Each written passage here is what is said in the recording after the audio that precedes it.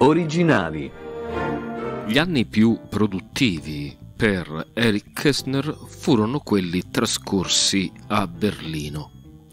Berlino dove eh, rimase fino al 1945, per la precisione a partire dal 1927, ma eh, fu il primo periodo, quello compreso fra il 1927 e il 1933, che lo vide diventare uno dei più importanti intellettuali di Berlino. Pubblicò poesie, articoli, recensioni nei più importanti periodici.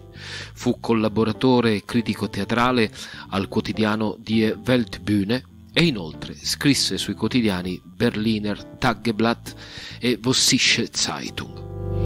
Nell'opera Omnia di Kessner, pubblicata nel 1998, redatta da Hans Sarkowitz e Franz Josef Goertz, sono elencati più di 350 articoli scritti dal 1923 al 1933, ma in realtà il numero potrebbe essere ancora più ampio. Molto andò perso però quando nel febbraio del 44 un bombardamento fra le tante cose distrusse anche la casa di Kessner.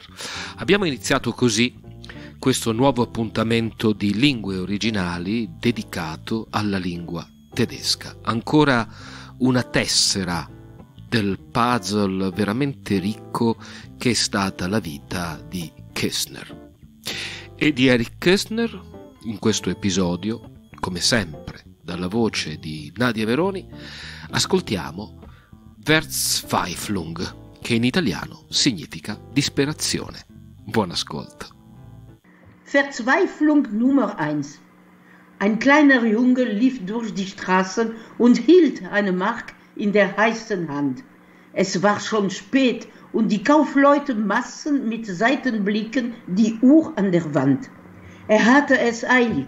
Er übte und summte ein halbes Brot und ein Viertel Pfund Speck. Das klang wie ein Lied, bis es plötzlich verstummte. Er tat die Hand auf, das Geld war weg. Da blieb er stehen und stand im Dunkeln. In den Ladenfenster erlosch das Licht. Es sieht zwar gut aus, wenn die Sterne funkeln, doch zum Suchen von Geld reichte das Funkeln nicht. Als wolle er immer stehen bleiben, stand er und war wie noch nie allein. Die Rollläden klapperten über die Scheiben und die Laternen nickten ein. Er öffnete immer wieder die Hände und drehte sie langsam hin und her. Dann war die Öffnung endlich zu Ende. Er öffnete seine Fäuste nicht mehr. Der Vater wollte zu essen haben. Die Mutter hatte ein müdes Gesicht. Sie saßen und warteten auf den Knaben, der stand im Hof, sie wussten es nicht. Der Mutter wurde allmählich banger. Sie ging ihn suchen, bis sie ihn fand. Er lehnte still an der Teppichstange und kehrte das kleine Gesicht zur Wand. Sie fragte erschrocken, wo er dann bliebe. Da brach er in lautes Weinen aus. Sein Schmerz war größer als ihre Liebe, und beide traten traurig ins Haus. Grazie a Nadia Meroni per averci tenuto compagnia con la lettura in lingua tedesca.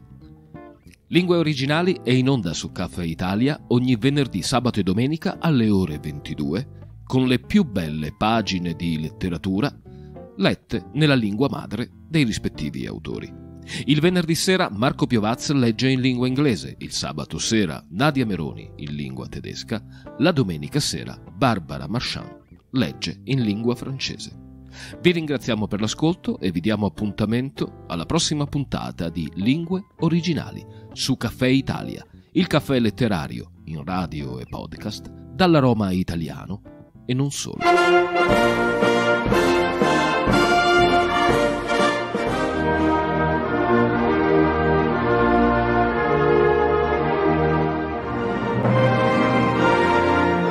Lingue originali